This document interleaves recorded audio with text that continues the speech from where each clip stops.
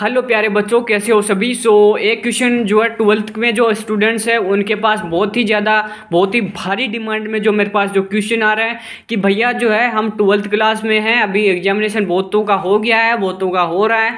तो जो है हमें एटलीस्ट बहुत सारे बच्चों को फॉर्म के बारे में पता है लेकिन सभी फॉर्म के बारे में नहीं पता कि हमारे लिए कौन सा बेस्ट हो सकता है और मुझे कौन कौन से फॉर्म फिल करने चाहिए ओके सो so, इसके बारे में आज मैं डिटेल में डिस्कशन करूँगा ओके सो so, सबसे पहले आपके पास फॉर्म है जेई मेन का ओके जेई मेन का हम फॉर्म फिल करिए और जेई एडवांस ये तो आप सभी को नॉर्मली सभी को पता है ही ओके सेकंड आपके पास जो ऑप्शन आता है मैं जो रिकमेंडेड करता हूँ वो है जैसे दिल्ली यूनिवर्सिटी यानी कि डीयू जिसे बोला जाता है आईआईटी के लेवल का इंस्टीट्यूट है जामिया है अलीगढ़ मुस्लिम यूनिवर्सिटी है और भी जैसे जवाहरलाल नेहरू है एंड जो सेंट्रल यूनिवर्सिटीज़ होती है ठीक है? चार पाँच तो वो है। एक आपका कॉमनली जो स्पेशल फॉर्म फिल होता है सी यूनिवर्सिटी का, जो आपके जो जामिया डी यू अलीगढ़ है, इन सब के अकेले अकेले के सबके एक एक फॉर्म फिल करने होते हैं। और हमारे बहुत सारे स्टेट है जहाँ पे जो सेंट्रल यूनिवर्सिटीज़ बने हुए हैं, उन सभी के लिए एक ही फॉर्म फिलिंग होती है सी यू सी टी का। ओके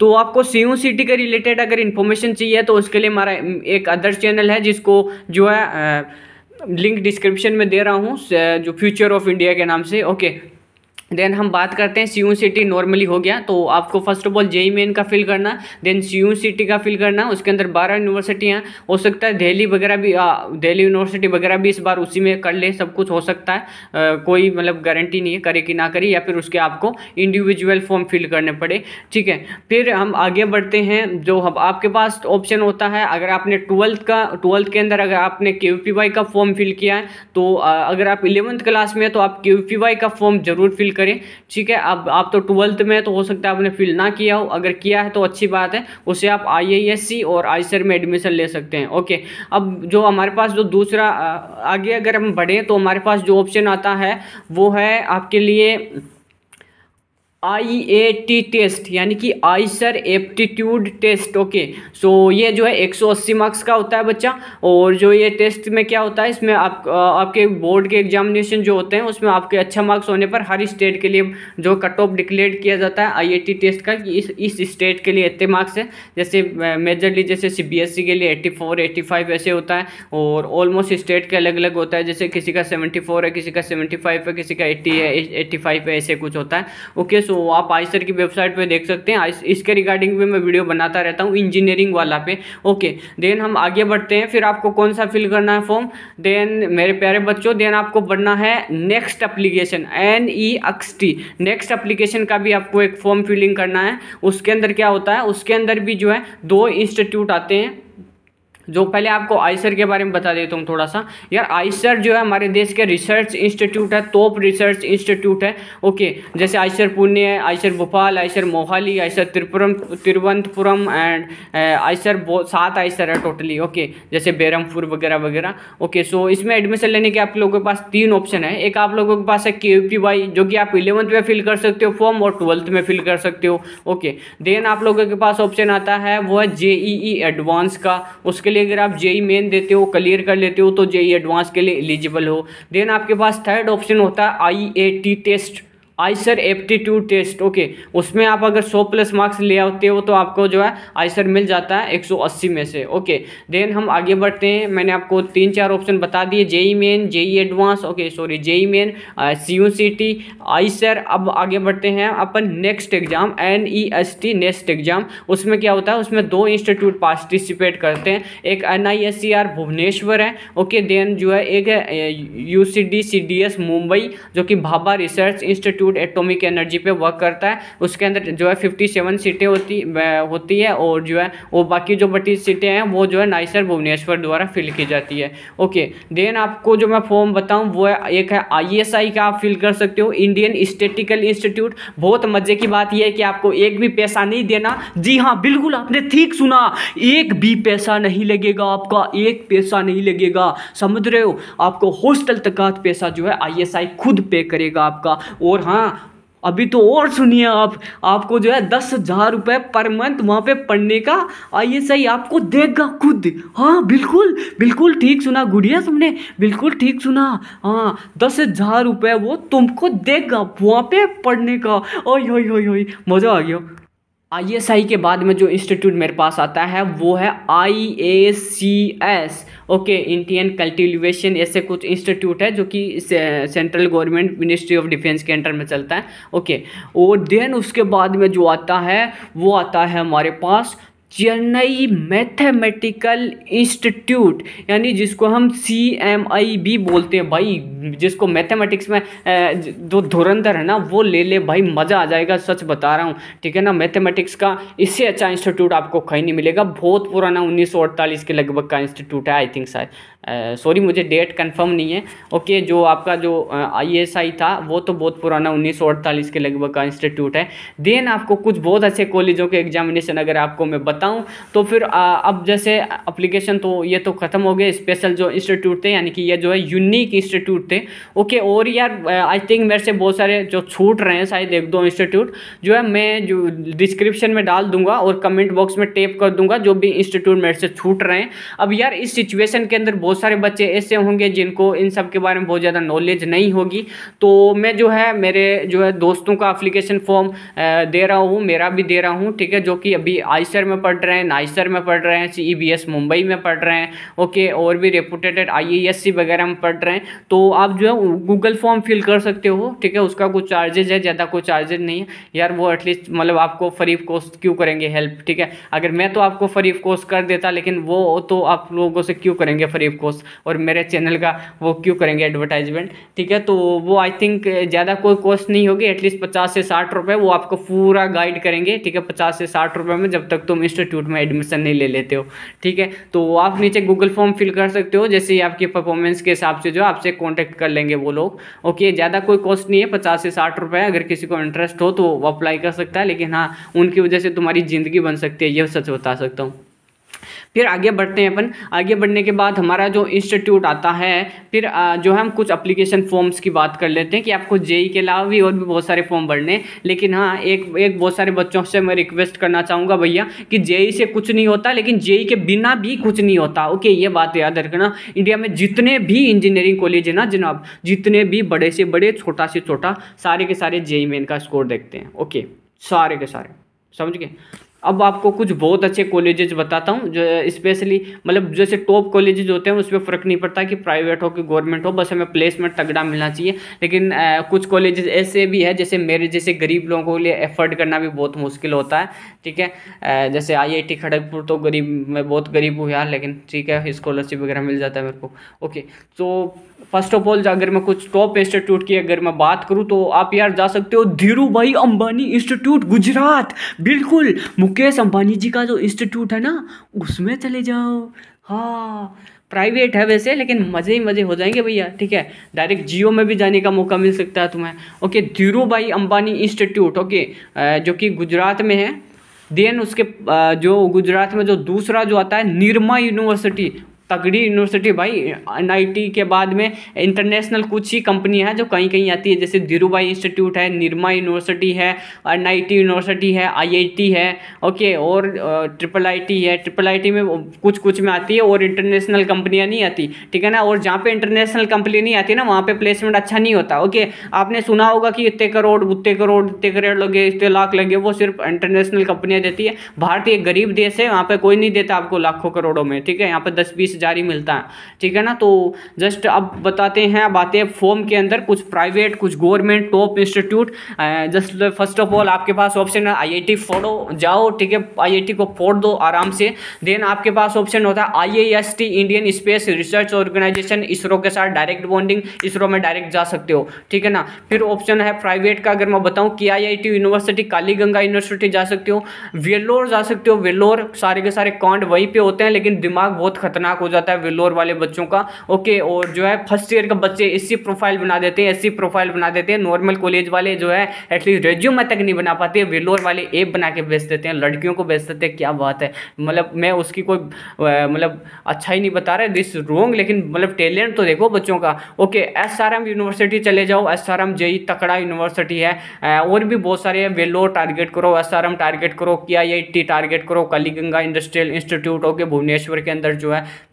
नाइसर आइसर आपने सुन लिया होगा। सी यू सी टी जो नॉर्मल जो यूनिवर्सिटी है डी यू जामिया अदर को छोड़ के जो स्टेट गवर्नमेंट कॉलेजेज है, यानी कि स्टेट के अंदर जो कॉलेजेज है ना, उनका प्लेसमेंट उतना अच्छा नहीं होता ओके देन आप टारगेट कर सकते हो एम आई टी मद्रास वाला जो है ना भैया, अब्दुल कलाम जी ने एरोनोटिकल किया था। भाई साहब, गजब का इंस्टीट्यूट है ओके उसको टारगेट कर सकते हो। जेक दिल्ली को टारगेट करना बिल्कुल मत बोलना। जेक दिल्ली के अंदर D T U N S I T जो वो कौन कौन सी है चार पाँच है ना वो? डी टी यू है N S U T I T कौन कौन सा है वो चार पाँच है तो जेक दिल्ली को टारगेट कर लेना आप, जेक चंडीगढ़ को टारगेट कर लेना आप। राजस्थान में एक कॉलेज अच्छा लगता है, उतना ज़्यादा प्लेसमेंट तो नहीं है। राजस्थान में एक कॉलेज है M B M engineering college उसके लिए आपको रीप का अप्लीकेशन फॉर्म फिल करना पड़ता है। ओके गुजरात में अगर आपको टॉप इंस्टीट्यूट में एडमिशन लेना है तो आपको जो है दो ऑप्शन आपके पास अगर आपको जो निरमा और धीरूभाई मैंने जो बताया था ना, उसकी गुजरात स्टेट की जो एस वाली एग्ज़ाम लगती है, उसके फॉर्म अभी स्टार्ट होने वाले हैं, उसको ज़रूर भरना आप लोगों के। और जो है, उनकी जो काउंसलिंग होती है जेई के बेसिस पे उसको एस बोलते हैं। एस काउंसलिंग प्रोसेस उसमें भी आप एडमिशन ले सकते हो। ओके और जो एसीपीसी के अंदर ये क्या सीन होता है, अगर आप जेई के बेसिस पे अप्लाई कर रहे हो, आपने अगर एग्ज़ाम नहीं दिया तो जनाब आप प्राइवेट कॉलेजों में नहीं जा सकते, यानी कि आप निरमा और धीरूभाई में नहीं जा पाएँगे। इसलिए आपको जो है, उनका एंट्रेंस एग्ज़ाम ज़रूर टारगेट करना है। निर्मा यूनिवर्सिटी ध्यान रहे धीरू भाई अंबानी इंस्टीट्यूट ध्यान रहे आईआईटी सारे ध्यान रहे आई ध्यान रहे जेक दिल्ली ध्यान रहे जेक चंडीगढ़ ध्यान रहे। राजस्थान के लिए रीप है, पंजाब के अंदर एक कॉलेज है जिसे टारगेट कर सकते हो I K Gujral, Punjab technical university okay और पंजाब के अंदर थापर यूनिवर्सिटी को कैसे छोड़ सकते हो जनाब तुम? BITS Pilani oh my God ये मेरे कैसे दिमाग से निकल गया। BITS Pilani okay BITS Goa okay and BITS Hyderabad है क्या बीट्स सॉरी मुझे दो याद है BITS Pilani BITS Goa. Okay एक उनका दुबई में भी कैंपस है। दुबई में किसका इंटरेस्ट हो तो जा सकते हो। इंडिया से अच्छी एजुकेशन मिलेगी आपसे मैं कमिटमेंट कर सकता हूँ। बिकॉज़ एजुकेशन सिस्टम अच्छा है, भले ही वहाँ का प्लेसमेंट बहुत कम हो बीट्स पिलानी में आना है, मुझसे कॉन्टेक्ट कर सकते हो। ज़रूर अच्छा खासा करवा दूँगा। ठीक है? प्रिपरेशन एग्ज़ाम का। ठीक है? जो बच्चे अभी ट्वेल्थ के अंदर है फ़र्स्ट ऑफ़ ऑल टारगेट करना है, जेई देना ही देना है तुमको किसी भी हाल में। कुछ यार, कुछ बॉडीज है प्राइवेट बॉडीज जो कि आपका अप्लीकेशन फॉर्म भरेंगे हंड्रेड परसेंट आप उसके चक्कर में फंस भी होंगे। होंगे। मैं भी जब छोटा था ट्वेल्थ क्लास में था तो मैं फंस चुका था।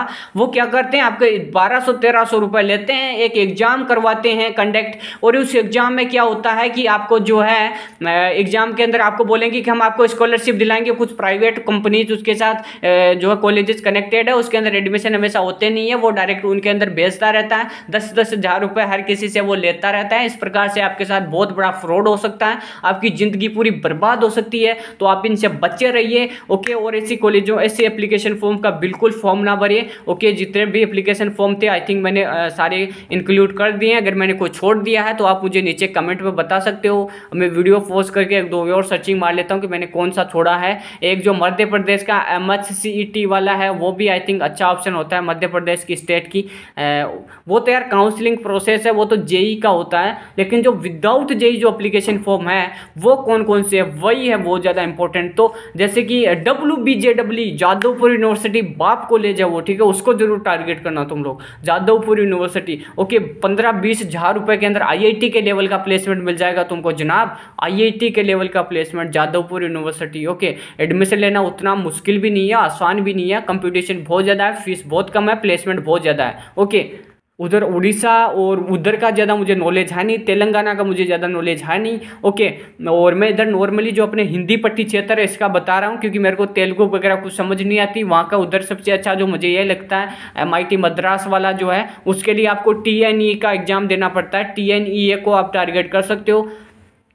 जे एक दिल्ली में आप पार्टिसिपेट कर सकते हो, लेकिन वो तो जेई है। अब अब जो टॉप इंस्टीट्यूट जो मैंने बताए थे, उसका आप ध्यान से एग्ज़ाम कॉपी पेन ले ले। गुड़िया ए गुड़िया, सुन कॉपी लिख ले पेन ले ले, लिख ले ओके फ़र्स्ट फ़र्स्ट लिखिए I A T test okay I A T IISER aptitude test okay लिख लिया देन सेकंड सेकंड है हमारे पास N E X T next okay जिसकी एग्ज़ाम 18 जून को है डिक्लेयर हो चुकी है third I S I Indian statistical institute bracket में लगा लो नो फ़ीस नो चार्ज कुछ भी नहीं लग लगने वाला, सिर्फ़ मतलब अप्लीकेशन फॉर्म का चार्ज लगेगा एग्ज़ाम देना, मज़े करो, बाद में मज़े हो जाएँगे तुम्हारे। आई एस आई लिख लिया?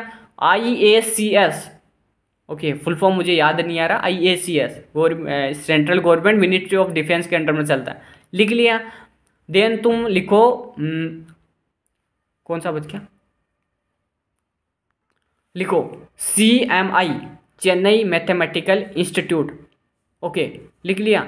Then I I S T okay J E E advance से मिलेगा ओके तो ये भी अच्छा टारगेट करना चाहिए तुमको ओके देन सीक्वेंस बाय चले तो फिर आ, तुम लिख लो निर्मा यूनिवर्सिटी ओके देन तुम लिखो बिट्स पिलानी ओके देन तुम लिखो धीरू भाई अंबानी वाला जो इंस्टीट्यूट है. फुल फॉर्म तो उसका जो शॉर्ट फॉर्म तो मुझे याद नहीं है. यार जो ये इंस्टीट्यूट में जो बता रहा हूँ, ये मतलब जो नॉर्मल मिडिल क्लास फैमिली से बिलोंग करते हैं, उसके लिए पॉसिबल नहीं है बिल्कुल। जैसे थापर यूनिवर्सिटी अब मेरे लिए थापर मिडिल क्लास फैमिली से जो बिलोंग करता है, उसके लिए थापर यूनिवर्सिटी पॉसिबल नहीं है यार। उसकी एटलीस्ट फ़ीस ही बीस, पच्चीस लाख रुपये लगेगी। ओके तो मतलब कैसे मान सकते हैं अपन अपन? ओके समझ रहे हो ना? तो उनके लिए तो नहीं है, जो बहुत अच्छी कंडीशन है तो उसके लिए हो सकता है। और और भी अच्छे अच्छे आपको कॉलेज मिल जाएँगे। ओके एंड ट्रिपल आई होते हैं हमारे एन आई होते हैं यार, ये सारे जो है उससे ही मिलते हैं। तो आपको पता है जेई के बेसिस में मिलते हैं।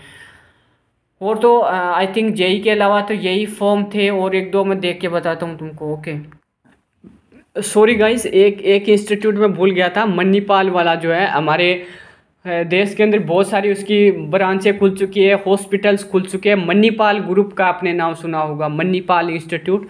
ओके, एसआरएम का हमने डिस्कस कर ही लिया वेलोर का हमने डिस्कस कर ही लिया, और जो है बिट सेट जो बिट्स पिलाने वाला है, उसको बिट सेट बोलते हैं हम लोग। ओके, देन जो एक और आ रहा है मेरे पास, कोचिन यूनिवर्सिटी कोई है, उसको भी अच्छा बता रहे हैं। मेरे जो फ्रेंड्स पार्टी है then W B J W आप सभी को पता होगा, जादवपुर यूनिवर्सिटी टारगेट कर सकते हो इसको। M S T C E T okay जो महाराष्ट्र का कॉमन एंट्रेंस टेस्ट होता है स्टेट गवर्नमेंट के अंडर में चलता है, इसको भी आप टारगेट कर सकते हो ओके और जो है इंजीनियरिंग एग्रीकल्चर वाले जो बच्चे हैं, वो A P E M C E T वाला दे सकते हो। ओके टी ए नाटा जो है, वो नेशनल एलिजिबिलिटी का एंट्रेंस टेस्ट है। सॉरी तमिलनाडु एप्टीट्यूड टेस्ट है। नीट का आप सभी को पता ही होगा।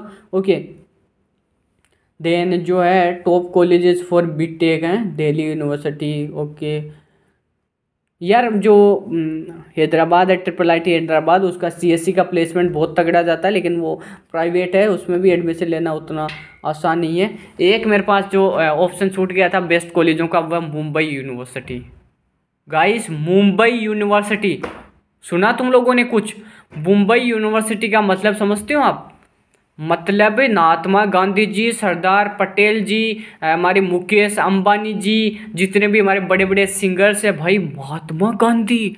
हाँ महात्मा गांधी जी, मुंबई यूनिवर्सिटी से पढ़े हैं, बिल्कुल। और भी बहुत बड़े बड़े खतरनाक जुमाल सॉरी सरदार पटेल जी है, हमारे तिलक साहब है, हमारे पता नहीं बड़े बड़े बहुत खतरनाक खतरनाक आदमी मुंबई यूनिवर्सिटी से पढ़े हैं तो सोचो यार कब से ओपन हुआ होगा। जैसे बॉम्बे फ्लाइंग क्लब है वहाँ पे जी आर डी टाटा ने अठारह उनतीस में वहाँ से लाइसेंस लिया था एरोप्लेन उड़ाने का एयर इंडिया स्टार्ट की टाटा एयरलाइंस एयर इंडिया बनी, फिर से टाटा जी ने खरीद ली। ओके ठीक है ना? तो यार, और भी आई थिंक छूट गए होंगे, इंसान हूँ मैं भी, छूट गए होंगे। तो मैं आपको जो है कमेंट वगैरह में डाल दूँगा। अगर तुमको भी अगर कोई, अगर अच्छी कोई मिलती है इंस्टीट्यूट की भैया बहुत अच्छा है तो मैं उसको ज़रूर इंक्लूड करूँगा और वीडियो बना दूँगा डिस्क्रिप्शन में डाल दूँगा। कमेंट ज़रूर करना। सब्सक्राइब नहीं है किया तो सब्सक्राइब करिए और लाइक बटन बटन दबाइए। यार, बनता है ये तो ठीक है? Thank you so much bye take care और जो है गूगल फॉर्म दे रहा हूँ, उसको फिल कर सकते हो। तुमको फुल गाइड करेंगे वो लोग। ओके और एक दिन एक समोसा मत खाना और क्या होता है। Thank you bye take care खूब पढ़िएगा। और फोड़ दो जेईमेन को आपसे रिक्वेस्ट करना चाहूँगा। यार जेई मेन और अदर एंट्रेंस एग्ज़ाम देने के बाद एक रिग्रेट ना हो कि उस दिन पढ़ लिया होता तो शायद मैं और कहीं होता। ठीक है, सच बता रहा हूँ, ये एक रिग्रेट ना हो हमारी तरह की उस दिन पढ़ लिया होता तो आज मैं आईआईटी बॉम्बे पहुँच जाता, आईआईटी खड़गपुर से। ओके, सो इसके लिए जो है खूब जचा के मेहनत कीजिए और छोटों से प्यार करिए, बड़ों का सम्मान करिए, घमंड को त्याग दीजिए, शर्म को त्याग दीजिए यूट्यूब पे आके बोलिए, दूसरों से बातें कीजिए ओके और बुक्स पढ़िए। Thank you so much bye take care खूब पढ़िएगा। अपने परिवार का सम्मान कीजिए, जिसकी वजह से आप ये वीडियो देख रहे हैं। अपने डैडी को, अपनी मम्मा को थैंक यू बोलिए, जिसकी वजह से आपके पास ये मोबाइल है लैपटॉप है कंप्यूटर है। Thank you so much bye take care